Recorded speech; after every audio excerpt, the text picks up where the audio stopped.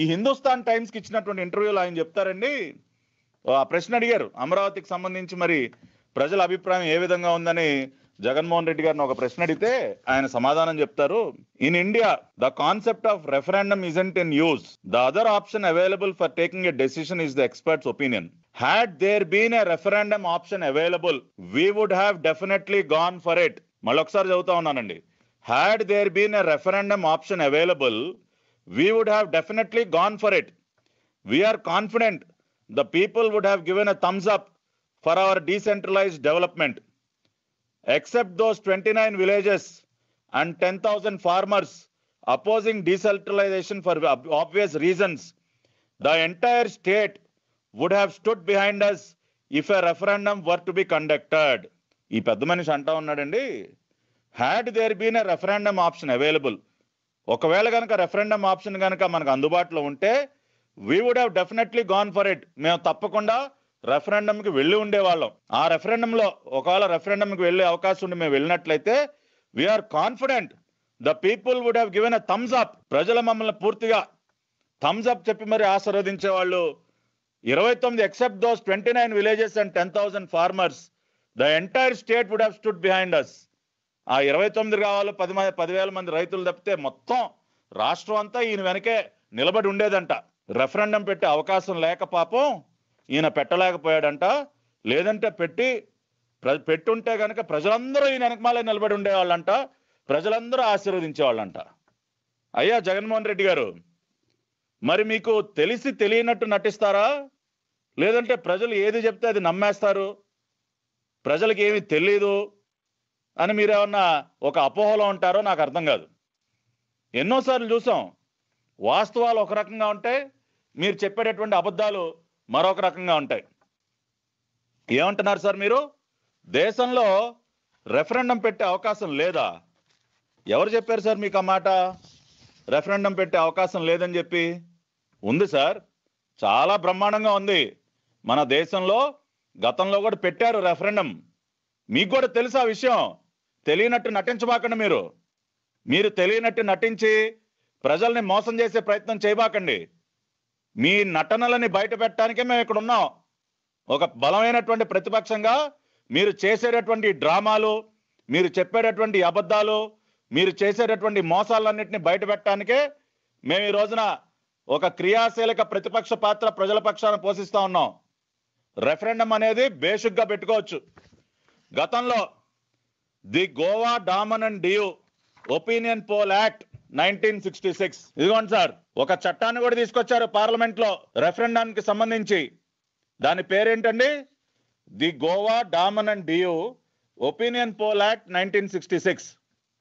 పంతొమ్మిది వందల అరవై ఆరులో గోవా రాష్ట్రంలో రెఫరెండం నిర్వహించడం కోసం the Goa opinion poll act అని చెప్పి ఒక చట్టాన్ని కూడా పార్లమెంట్లో తీసుకొచ్చి పంతొమ్మిది వందల అరవై ఆరులో డిసెంబర్లో పదహారు జనవరి పంతొమ్మిది వందల అరవై ఏడులో గోవాలో రెఫరెండంని పెట్టడం జరిగింది. భారతదేశంలో రెఫరెండం అనేది గతంలో జరిగింది.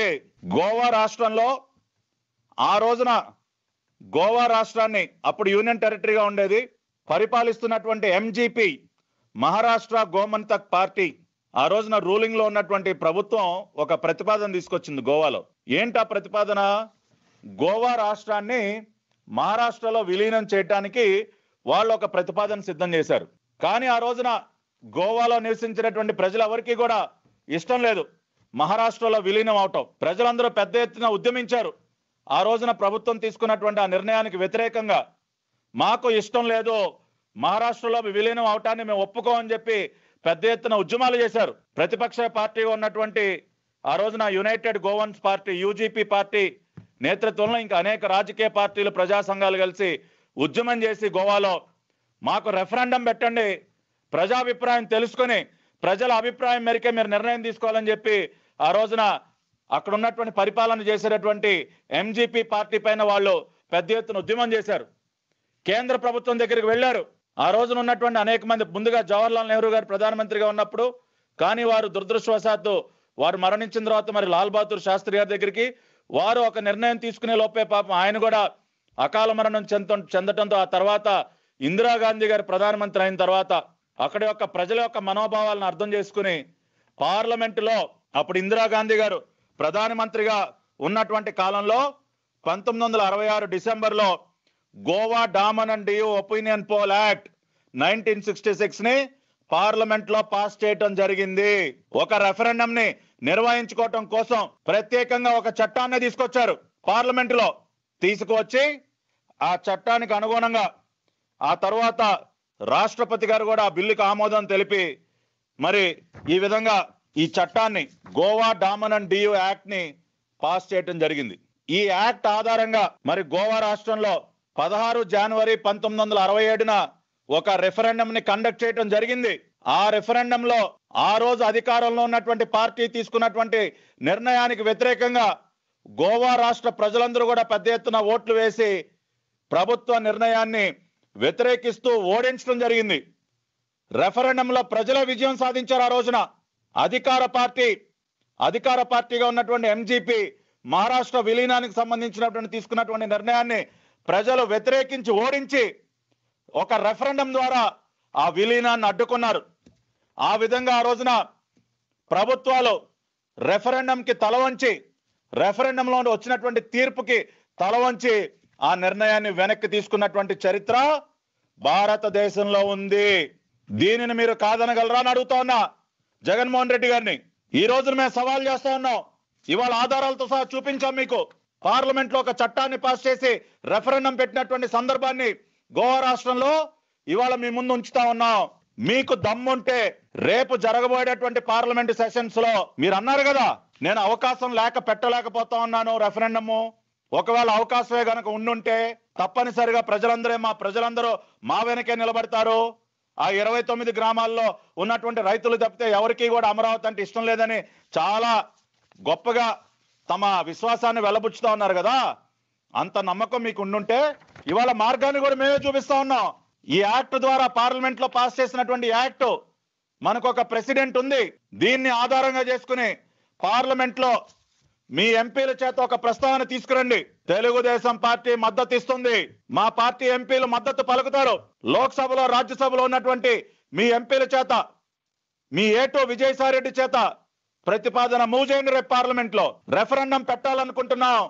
ఆంధ్ర రాష్ట్రంలో అమరావతి మీద గతంలో గోవా రాష్ట్రంలో గోవాకు సంబంధించినటువంటి రెఫరెండం సంబంధించి ఏ విధంగా అయితే ఒక చట్టాన్ని పాస్ చేసి పార్లమెంట్లో అక్కడ రెఫరెండం పెట్టారో అదే విధంగా ఆంధ్రప్రదేశ్లో కూడా ఒక యాక్ట్ పాస్ చేసి మాకు రెఫరెండం పెట్టండి.